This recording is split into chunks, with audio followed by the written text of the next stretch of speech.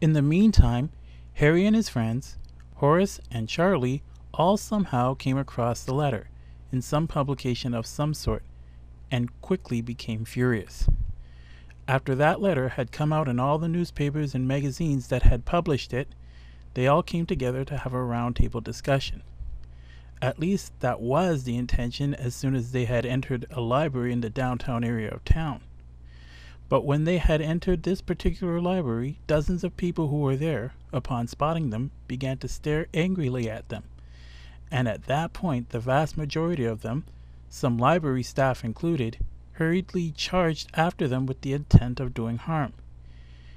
Immediately, Harry and his friends, Horace and Charlie, ran out of the library, and they ran for their lives.